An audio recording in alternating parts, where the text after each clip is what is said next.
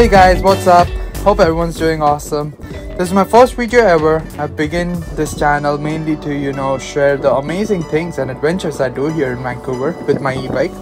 I plan to show you all the restaurants I go to. Hey, I'm a big foodie and I believe I have an amazing taste choice. And uh, then the cool attractions I visit and just my wonderful journey with the e-bike.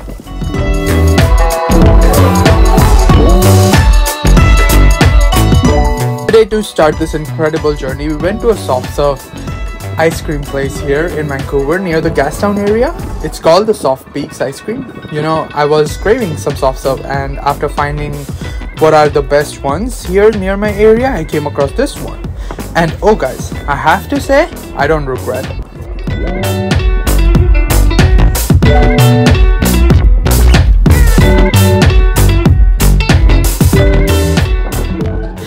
Just an FYI, my first few videos will have some kinds of rants as my channel is just starting and people should know about what it is. Um, let me know what your guys' feedback is about it, and I will try to incorporate those points as well to serve you guys better.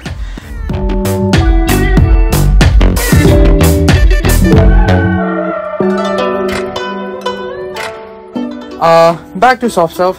Guys, it was pretty good. We got two ice creams. One was the vanilla with yuzu, and uh, the other one was mixed flavor of half chocolate and half vanilla.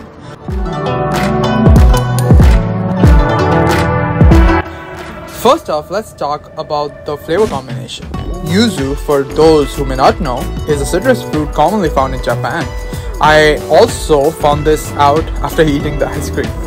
Uh, it has this incredibly zesty and a tangy flavor that adds a refreshing twist to the classic vanilla ice cream. The combination of the sweet and simple vanilla with the vibrant yuzu creates a burst of flavors in your mouth. As I took the first spoonful, I was instantly hit with the aromatic notes of the yuzu.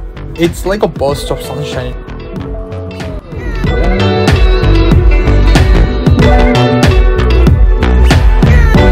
One thing that really stood out to me was the texture of the ice cream. The yuzu added a subtle acidity that enhanced the creaminess of the vanilla. It was incredibly smooth, velvety, and it had a luxurious feel to it. From my girlfriend, I sensed that the mix was freaking amazing as well. You know, the mix of uh, vanilla and chocolate, as she wasn't even talking to me while eating it. Anyway, guys, hope you enjoy the video and see y'all in the next one. Do let me know what you guys uh, want me to try next in the Vancouver area, and I would love to give it a shot.